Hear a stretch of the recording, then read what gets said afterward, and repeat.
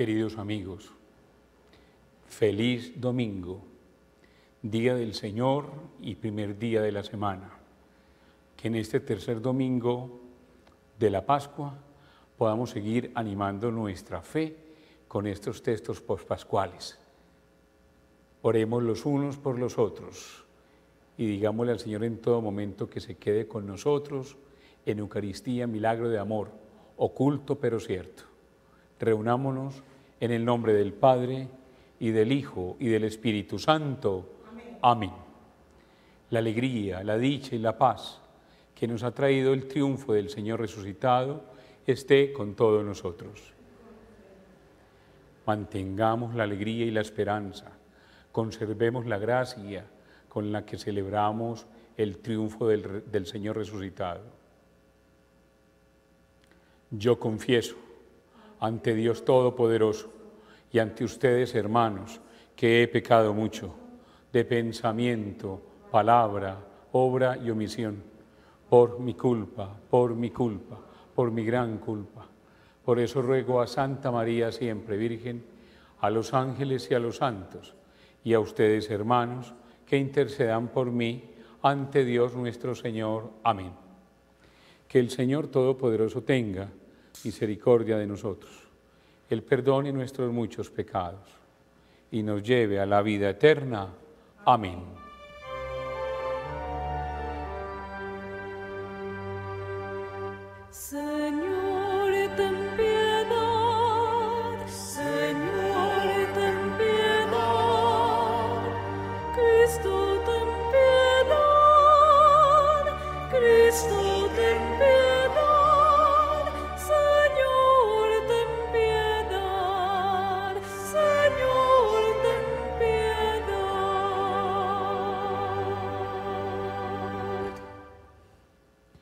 Nuestra vida también se desenvuelve en un camino, que ojalá en ese caminar podamos permitir que Él se haga el encontradizo y llene de sentido esa experiencia.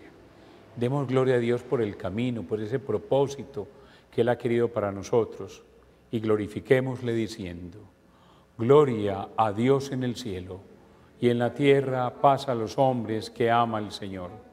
Por tu inmensa gloria te alabamos, te bendecimos, te adoramos, te glorificamos. Te damos gracias, Señor Dios Rey Celestial, Dios Padre Todopoderoso, Señor Hijo único Jesucristo, Señor Dios, Cordero de Dios, Hijo del Padre. Tú que quitas el pecado del mundo, ten piedad de nosotros. Tú que quitas el pecado del mundo, atiende nuestras súplicas. Tú que estás sentado a la derecha del Padre, ten piedad de nosotros, porque solo tú eres santo, solo tu Señor, solo tu Altísimo Jesucristo, con el Espíritu Santo, en la gloria de Dios Padre. Amén. Oremos. Que tu pueblo, oh Dios, se regocije siempre al verse renovado y rejuvenecido, y que por la gloria en que nos has restaurado, al gozarnos ahora de ser hijos tuyos, aguardemos con esperanza confiada el día de nuestra resurrección. Por nuestro Señor Jesucristo, tu Hijo, que contigo vive y reina en la unidad del Espíritu Santo, y es Dios por los siglos de los siglos. Amén. Vamos allí donde quiera que estemos a ponernos cómodos, a leernos en esa palabra tan linda del día de hoy, para poderle decir, quédate con nosotros, no nos dejes nunca. Escuchemos atentos. Lectura del libro de los, de los Hechos de los Apóstoles. El día de Pentecostés, Pedro, poniéndose en pie junto a los once, levantó su voz y con toda solemnidad declaró, Judíos y vecinos, todos de Jerusalén, entérense bien y escuchen atentamente mis palabras. A Jesús el Nazareno, varón acreditado por Dios ante ustedes con los milagros, prodigios signos que Dios realizó por medio de él, como ustedes mismos saben, a este, entregado conforme al plan que Dios tenía establecido y previsto, ustedes lo mataron, clavándolo a una cruz por manos de hombres inicuos. pero Dios lo resucitó, librándolo de los dolores de la muerte, por cuanto no era posible que ésta lo retuviera bajo su dominio, pues David dice, refiriéndose a él, veía siempre al Señor delante de mí, pues está a mi derecha para que no vacile. Por eso se me alegró el corazón, exultó mi lengua, y hasta mi carne descansará esperanzada, porque no me abandonarás en el lugar de los muertos, ni dejarás que tu santo experimente corrupción. Me has enseñado senderos de vida, me saciarás de gozo con tu rostro. Hermanos, permítame hablarle con franqueza. El patriarca David murió y lo enterraron, y su sepulcro está entre nosotros hasta el día de hoy.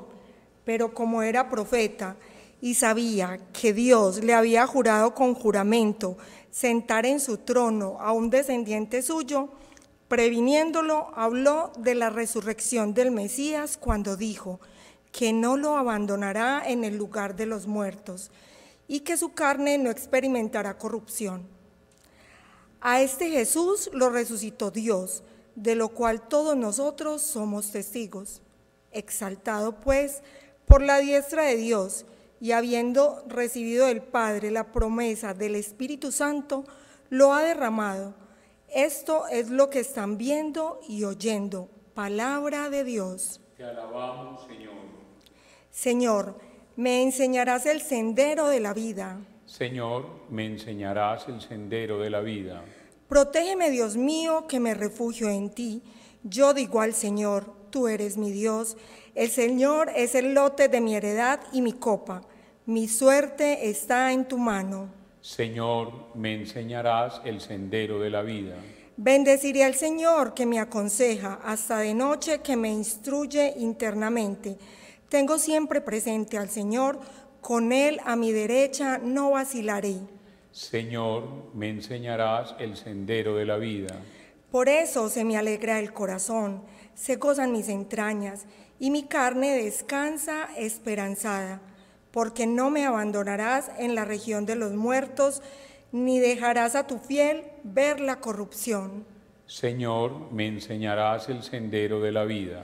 Me enseñarás el sendero de la vida, me saciarás de gozo en tu presencia, de alegría perpetua a tu derecha. Señor, me enseñarás el sendero de la vida. Lectura de la primera carta del apóstol San Pedro. Queridos hermanos, puesto que pueden llamar Padre al que juzga imparcialmente según las obras de cada uno, compórtense con temor durante el tiempo de su peregrinación, pues ya saben que fueron liberados de su conducta inútil, heredada de sus padres, pero no con algo corruptible, con oro o plata, sino con una sangre preciosa, como la de un cordero, sin defecto y sin mancha. Cristo, previsto ya antes de la creación del mundo y manifestado en los últimos tiempos por ustedes, que por medio de él creen en Dios, que lo resucitó de entre los muertos y le dio gloria, de manera que la fe y la esperanza de ustedes estén puestas en Dios. Palabra de Dios. Te alabamos, Señor.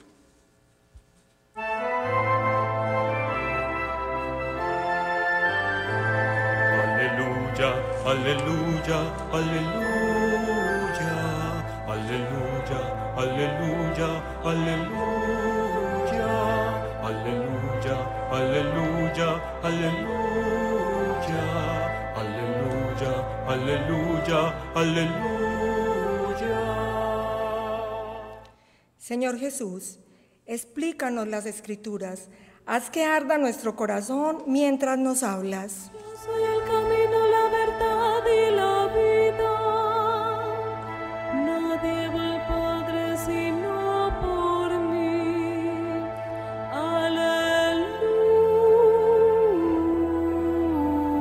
Aleluya, Aleluya, Aleluya, Aleluya, Aleluya, Aleluya, Aleluya, Aleluya, Aleluya, Aleluya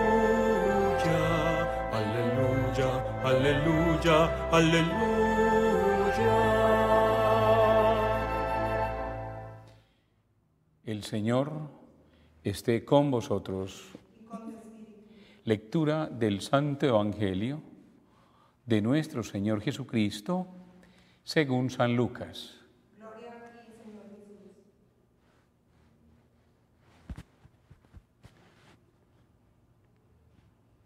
Aquel mismo día, el primero de la semana, dos de los discípulos de Jesús iban caminando a una aldea llamada Emaús, distante de Jerusalén unos 70 estadios.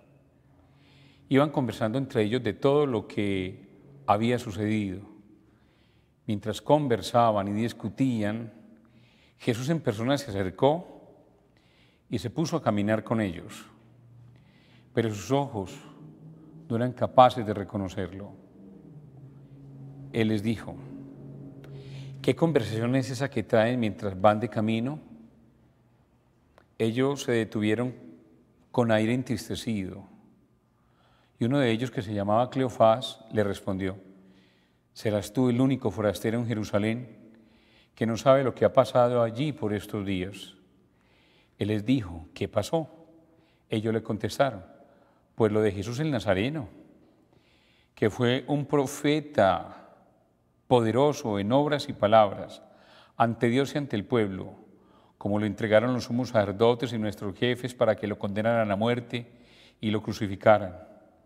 Nosotros esperábamos que él iba a liberar a Israel, pero con todo esto ya estamos en el tercer día desde que esto sucedió. Es verdad que algunas mujeres de nuestro grupo nos han sobresaltado, pues habiendo ido muy de mañana al sepulcro y no habiendo encontrado su cuerpo, vinieron diciendo que incluso habían visto una aparición de ángeles que dicen que está vivo. Algunos de los nuestros fueron también al sepulcro y lo encontraron, como habían dicho las mujeres, pero a él no lo vieron. Entonces él les dijo, que necios y torpes son para creer lo que dijeron los profetas.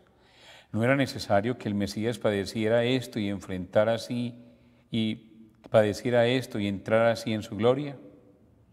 Y comenzando por Moisés y siguiendo por todos los profetas, les explicó lo que se refería a él en todas las escrituras. Llegaron cerca de la aldea donde iban y él simuló que iba a seguir caminando, pero ellos lo apremiaron diciendo, quédate con nosotros, porque atardece y el día va de caída. Y entró para quedarse con ellos sentado a la mesa, con ellos tomó el pan, pronunció la bendición, lo partió y se los fue dando. A ellos inmediatamente se les abrieron los ojos y lo reconocieron, pero él desapareció de sus vistas. Y se decían unos a otros, ¿no ardía nuestro corazón mientras nos hablaba por el camino y nos explicaba las escrituras?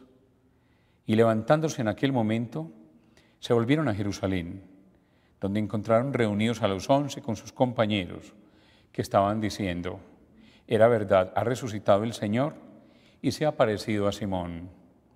Y ellos contaron lo que les había pasado por el camino y cómo lo habían reconocido al partir el pan. Palabra del Señor. Gloria a ti, Señor Jesús. Queridos amigos, Acabamos de escuchar un evangelio de Lucas que precisamente hace parte del último capítulo de Lucas, el último capítulo. Y al ser el último capítulo, miren Lucas cómo nos deja una posibilidad. Y la posibilidad es que la comunidad pueda seguir encontrándose con su Señor, al que si bien no pudimos ver, geográficamente, explícitamente, realizar obras y milagros como lo hizo en su vida terrena, lo pudiéramos hacer a través de su presencia eucarística. Es valioso que Lucas haya dejado este capítulo, haya dejado este tema en el último capítulo de su Evangelio, para darnos esa posibilidad de seguirnos encontrando con el Señor resucitado. también vale la pena que comprendamos algo. Este Evangelio también fue el tema de meditación del miércoles de la primera semana de Pascua o de la octava de Pascua. Y recordemos que esa semana de Pascua, hace 15 días, era, era la única semana para nosotros los creyentes donde no existía ni lunes, ni martes, ni miércoles de Pascua. Esa semana toda fue domingo para nosotros. Durante toda esa semana pudimos prolongar la misa del domingo de la resurrección en esa semana, por eso se llama octava de Pascua. Y este Evangelio fue el tema de meditación de ese miércoles. Vamos a mirar, abuelo de pájaro, unos elementos valiosos que trae el Evangelio del día de hoy. Miren, los dos de los discípulos regresaban a su lugar de origen, regresaban a sus casas, camino de retorno. Un día dejaron sus casas muy entusiasmados por seguir a Jesús, se fueron con él hacia Jerusalén. Pero después de pasar todo lo que pasó en Jerusalén, ellos van a vivir lo que podríamos llamar una decepción, una desilusión. Ellos hasta podemos decir se sentían asaltados en la fe, ellos se, sentían engañados por su Señor. Fíjese, han pasado tres días y, y no ha pasado nada, aunque unas mujeres fueron al sepulcro y vinieron contando que Él había resucitado, pero deben ser cuentos de mujeres, dirían estos dos discípulos. No le dieron como mucho crédito a lo que dijeron las mujeres. Entonces miren cómo ellos van de retorno pero fíjense que si hubo retorno es porque hubo una ida. En la ida iban felices con, el Jesús, con Jesús, muy entusiasmados. Ahora, ¿cómo regresan a su lugar de origen? Regresan desilusionados, convencido estoy de eso. Regresan pensando en volver a lo que hacían antes de conocer a Jesús. Así retornaban a su casa. Y miren que mientras iban de camino, porque la vida es un camino, Jesús se les hizo el encontradizo. Y cuando se les hace el encontradizo, miren todo lo que va a pasar. Lo primero, no lo reconocieron de inmediato. ¿Cómo sería esa tristeza? ¿Cómo sería esa desilusión que no pudieron reconocerlo? No lo querían ver. Cabe allí una pregunta, pero ¿por qué no lo podían ver? sería que el Jesús antes de la cruz era uno y el Jesús después de la resurrección era otro. Empieza ese tema, esa meditación del Jesús histórico y el Cristo de la fe. Una meditación que de verdad es muy valiosa en estos tiempos de Pascua. Una meditación para comprender nosotros que al Jesús histórico lo pudo ver todo el que quiso. Al Jesús histórico lo conocieron todos los que pudieron en cambio, al Cristo de la fe solo lo van a conocer y lo van a disfrutar aquellos que han dado el paso de la fe. ¿Y qué es el paso de la fe? El paso de la fe no es otra cosa que la mirada de la fe. Entrar como en esa dimensión, en esa tercera dimensión y poder ver a Jesús en todo. Algo así le pasó a los discípulos. Y fíjense que mientras iban de camino, entonces eran dos, se le agrega la caminata alguien que podríamos llamar un involucrado, se les involucró alguien en el camino y ustedes de qué vienen conversando y ellos le manifiestan ese dolor. ¿Serás tú acaso el único que no sabe lo que pasó en estos días en Jerusalén? Y empiezan a narrar lo que pasó y no lo han identificado. Nos da a entender el Evangelio que caminaron mucho rato juntos, demasiado rato juntos, hasta llegar a Emaús, y cuando llegan, que ya era tarde, ellos le van a decir, quédate con nosotros, Señor. Pues finalmente hemos empatizado, llevamos tanto rato conversando, quédate con nosotros. Y efectivamente, este famoso involucrado, entre comillas, entra a la casa de ellos, se sientan a la mesa, mm, van a compartir un pan, Jesús bendice ese pan e inmediatamente lo bendice, aparece el milagro eucarístico eso hizo Jesús todo el día con ellos, una misa. Mientras caminaba desenvolvió la primera lectura, el salmo, la segunda lectura. Mientras caminaba con ellos desenvolvió la liturgia de la palabra. Cuando llegaron a la casa y pasan a una mesa, va a desenvolver la liturgia de la Eucaristía. Y fíjese que cuando bendice ese pan y lo parte, Él desaparece, entre comillas, porque no desaparece del todo. Su nueva forma de ser es el pan, oculto en el pan, en la Eucaristía, e inmediatamente los discípulos lo reconocen.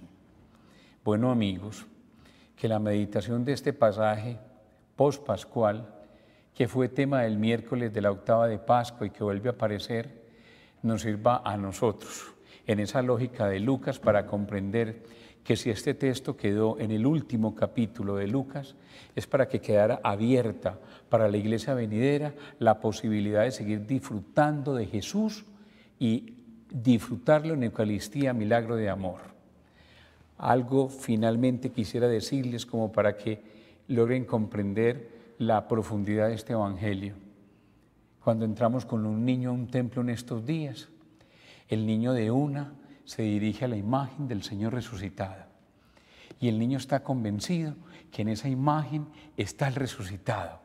Pero fíjense en algo, allí parece que estuviera, pero no está.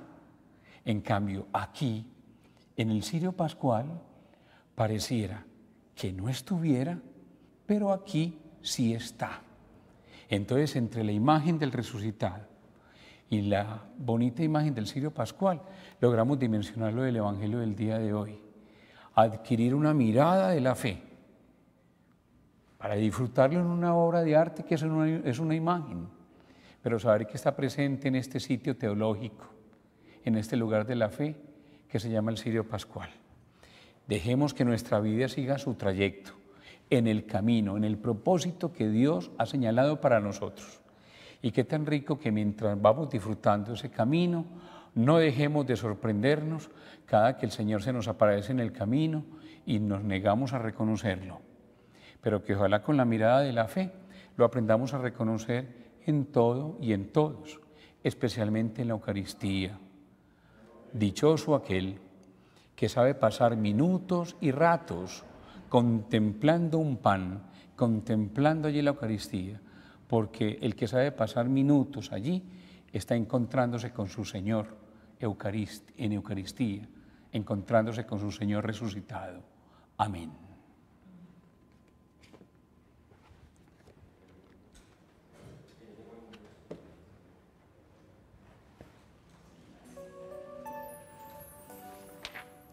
El trigo, Señor, se hizo pan. Hagamos en este tercer domingo de Pascua, después de haber meditado este lindo Evangelio y gozarnos de tener la mirada de la fe para saberle descubrir detrás del pan y el vino, hagamos esta profesión de fe. Creo en un solo Dios, Padre Todopoderoso, Creador del cielo y de la tierra. Creo en Jesucristo, su único Hijo, nuestro Señor, que fue concebido por obra y gracia del Espíritu Santo, nació de Santa María Virgen, padeció bajo el poder de Poncio Pilato, fue crucificado, muerto y sepultado, descendió a los infiernos, al tercer día resucitó entre los muertos, subió a los cielos, y está sentado a la derecha de Dios Padre Todopoderoso, y desde allí ha de venir a juzgar a vivos y muertos.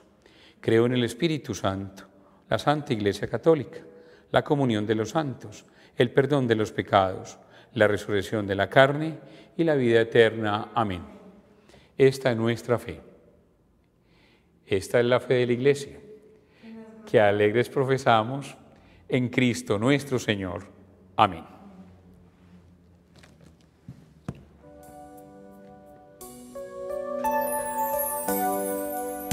El trigo, Señor, se hizo pan, la viña su sangre nos dio. Recíbelos y en ellos acéptanos, Señor.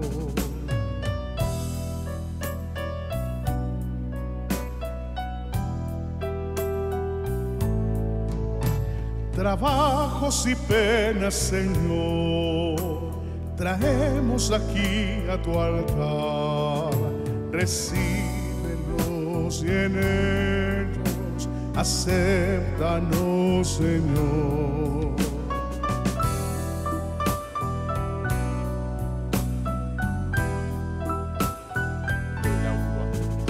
Bendice la viña y la mies y el fruto de nuestro sudor. Recíbelos y en ellos acéptanos, Señor.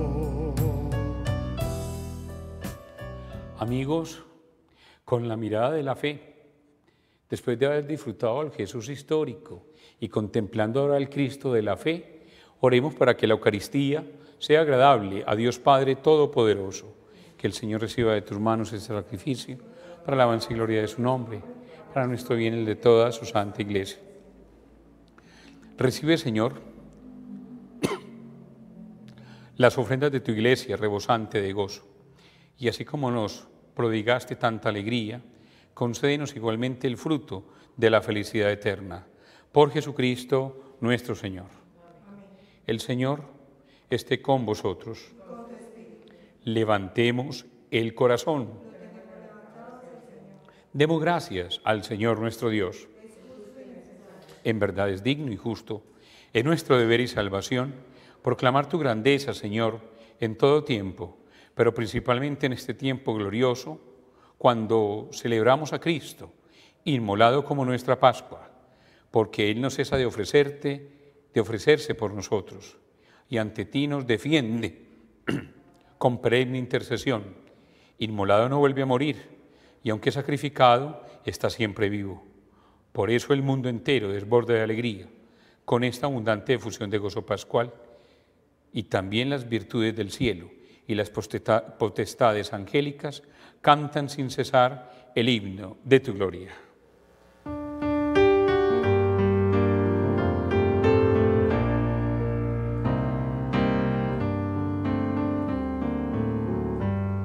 Santo, santo, santo, santo es el Señor, Dios del universo, santo es el Señor. Santo, santo, santo, Señor, Dios del universo, santo es el Señor. Hosana en el cielo, Hosana en la tierra, bendito el que viene en nombre del Señor. Hosana en el cielo, Hosana en la tierra,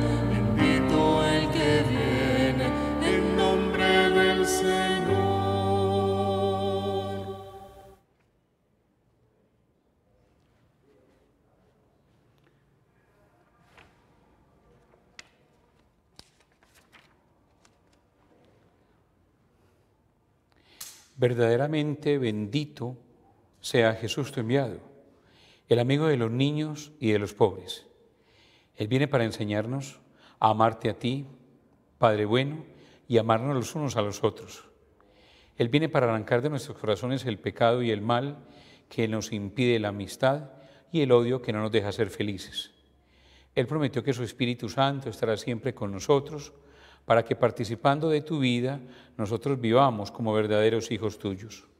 A ti, Dios Padre nuestro, te rogamos que envíes tu Espíritu para que estos dones de pan y de vino se conviertan para todos nosotros en el cuerpo y la sangre de Jesucristo, Hijo tuyo y Señor nuestro, que nos mandó celebrar estos divinos misterios, el cual, la víspera de su pasión, nos dio a conocer su infinito amor, pues cuando estaba sentado a la mesa con sus discípulos, tomó pan, te dio gracias, te bendijo, lo partió y lo dio a sus discípulos diciendo, tomad y comed todos de él, porque esto es mi cuerpo que será entregado por vosotros.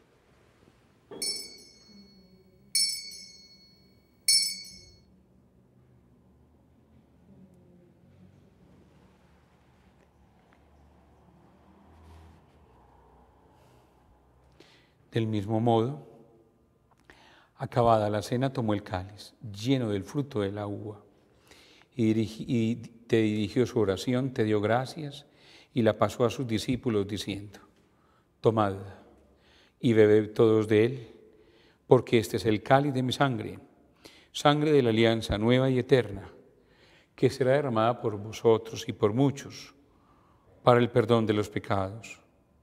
Haced esto en conmemoración mía.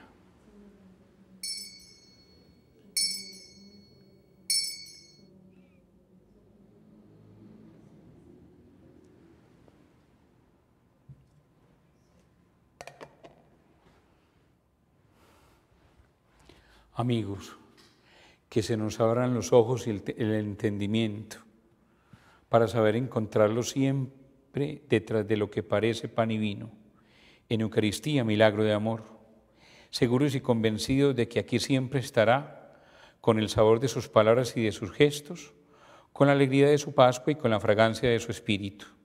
Él es el sacramento de nuestra fe. Anunciamos tu muerte, proclamamos tu resurrección. Ven, Señor Jesús. Por eso, Padre amantísimo, recordamos ahora la muerte y la resurrección de Jesús, el Salvador del mundo, quien se entregó en nuestras manos para ser víctima de reconciliación y de paz, sacrificio nuestro en el cual nos ofrecemos también a ti. Escúchanos, Dios nuestro, danos el espíritu de tu amor a todos los que participamos hoy domingo de este banquete eucarístico, para que vivamos cada día más unidos en tu iglesia, con el Papa Francisco, nuestro arzobispo Monseñor Ricardo todos los obispos del mundo y todos nosotros que con la catequesis y la predicación servimos y cuidamos de tu pueblo. No te olvides, Señor, de las personas que amamos, padres, hermanos, amigos, bienhechores, y de, aquellas que deberíamos querer un poquito más. Acuérdate también de los que ya murieron, los difuntos de nuestros afectos.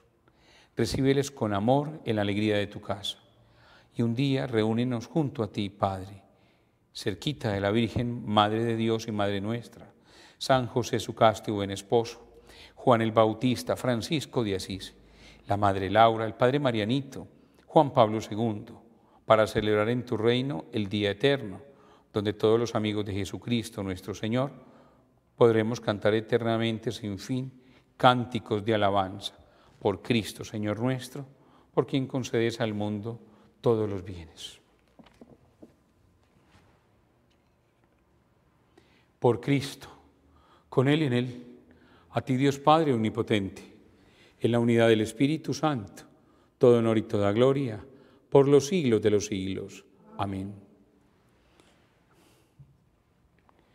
La vida nuestra como la de los discípulos es un camino de alegrías y de desilusiones. Dejemos que el Señor nos sorprenda, que se nos haga el encontradizo, para que la alegría sea más plena y para que la desilusión se transforme en gozo y en motivo de esperanza. Por eso hoy decimos, Padre nuestro, que estás en el cielo, santificado sea tu nombre, venga a nosotros tu reino, hágase tu voluntad en la tierra como en el cielo.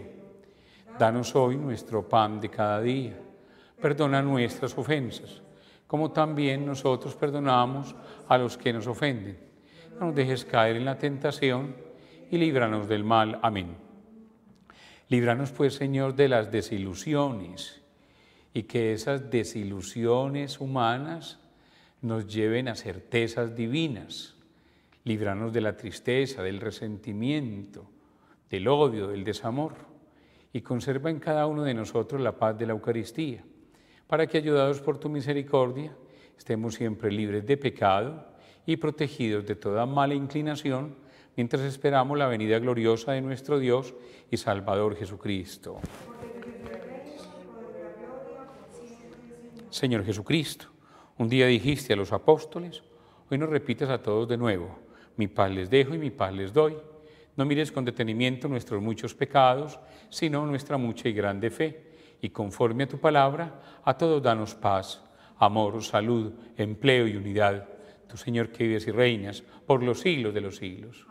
Amigos, la paz de este buen Dios esté con todos nosotros. Démonos pues en ese apretón de manos, en ese abrazo, en ese besito, la paz que Cristo nos regala.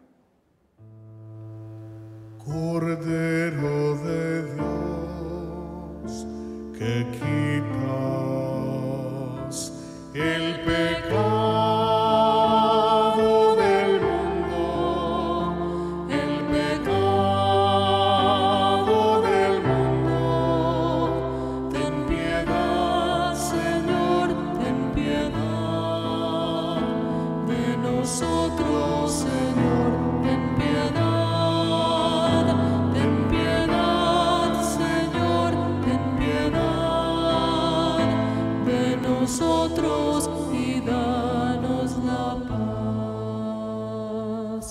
Amigos, que se nos abran los ojos del corazón, el entendimiento, para saber dar el paso de Jesús histórico al Cristo de la fe, para saberle reconocer desde aquella tarde del jueves santo, detrás de lo que parece pan y vino, donde siempre estará oculto pero cierto. Dichosos nosotros, llamados a esta cena. Señor, no soy digno de que entres en mi casa, que las tristezas y desilusiones humanas encuentren en esta comunión consolaciones divinas.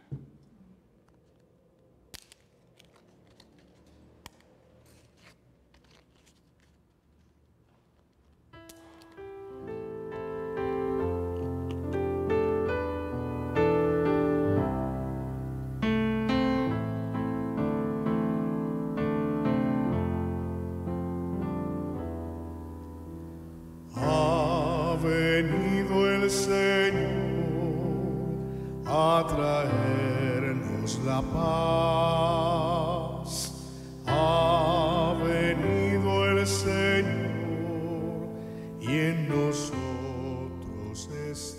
Creo, Jesús mío, que estás real y verdaderamente presente en el Santísimo Sacramento del altar. Te amo sobre todas las cosas y deseo vivamente recibirte dentro de mi alma. Pero no pudiendo hacerlo ahora sacramentalmente, ven al menos espiritualmente a mi corazón. Y como si ya te hubiese recibido, te abrazo y me uno del todo a ti. Señor, no permitas que me aparte de ti. Amén. Ha venido el Señor y en nosotros está. Tú eres solo mi Dios, mi Señor, mi heredad. Tú eres solo mi Dios, confianza en ti está.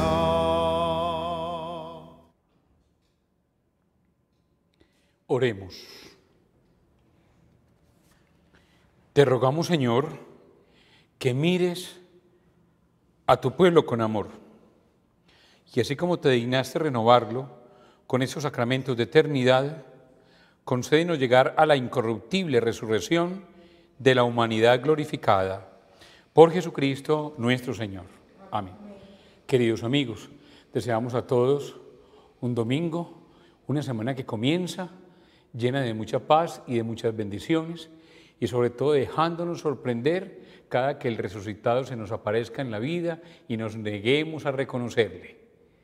Encomendemos esta semana a la Virgen diciéndole, oh Señora mía, oh Madre mía, yo me ofrezco enteramente a vos y en prueba de fiel afecto os consagro en esta nueva semana mis ojos, mis oídos, mi lengua y mi corazón, en una palabra todo mi ser, ya que soy todo vuestro, oh Madre de bondad, guardadme, defendedme como hijo y posesión vuestra. Amén.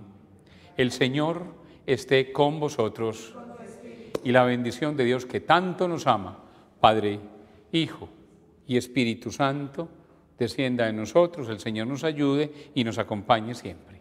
Amén.